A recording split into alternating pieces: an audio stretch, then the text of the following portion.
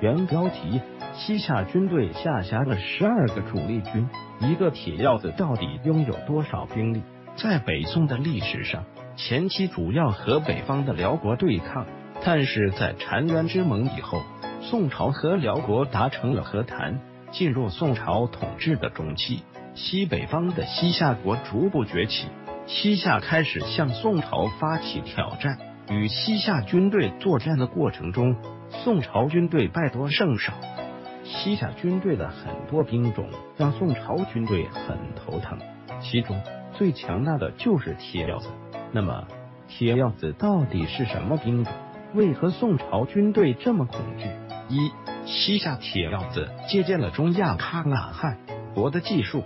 西夏国的周围有一系列的对手，自己的北方是强大的辽国，南部是吐蕃的各个部落，东边是拥有巨大资源的宋朝。西边就是喀喇汗国，喀喇汗国是一个盘踞中亚地区的政权，这个政权非常强悍，最引以为傲的就是重骑兵。喀喇汗国的重骑兵采用了五虎相连的战术，战马除了马蹄之外，各个部位都有铠甲，马上的骑兵也是一样，一般只露出两个眼睛。由于中亚地区的战马非常高大。进一步加强了喀喇汗国重骑兵的威力。西夏在崛起的过程中，逐步学习了喀喇汗国重骑兵的技术。西夏军队组建了很有特色的铁鹞子，与喀喇汗国重骑兵类似。西夏的铁鹞子也是全身都是铠甲。对于西夏这样一个贫瘠的国家来说，拿出大量的钢铁制作铠甲，已经算下了血本。与喀喇汗国的骑兵不同，西夏铁鹞子的骑兵和战马勾在一起，即使骑兵被射死，也不会坠落下马。在古代战争中，重骑兵的作用如何坦克冲入对方的步兵方阵，根本就无法阻挡。二铁鹞子总计只有三千人，但威力巨大。西夏全国的人口只有二百多万，在全民皆兵的情况下。西夏能够动员超过五十万军队，但这个数字属于西夏的承受极限。一般来说，西夏不会进行总动员。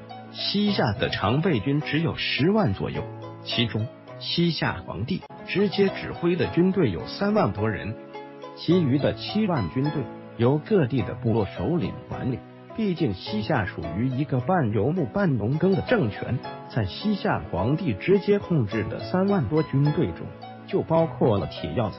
铁鹞子总计只有三千人，属于精锐中的精锐。按照西夏的规矩，铁鹞子的官兵全部来自于拓跋部落，而是官兵们采用了世袭制度，也就是说，父亲是铁鹞子官兵，儿子成年以后接班。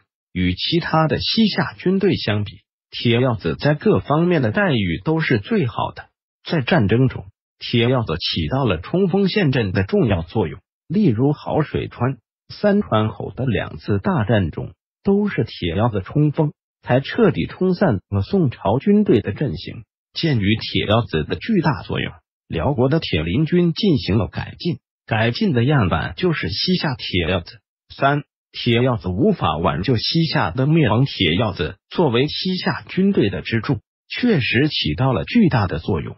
西夏这个国家很顽强，先后与北宋、辽国、金国、蒙古等政权对抗。在蒙古帝国崛起的过程中，西夏成了蒙古家门口的绊脚石。蒙古军队前后三次进攻西夏，面对比自己还强悍的蒙古骑兵。西夏铁料子也无法挽救西夏的灭亡，最终蒙古军队征服了西夏。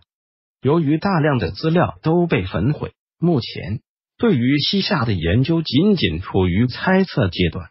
不过有一点可以证实：辽国和西夏都是信奉佛教的国家。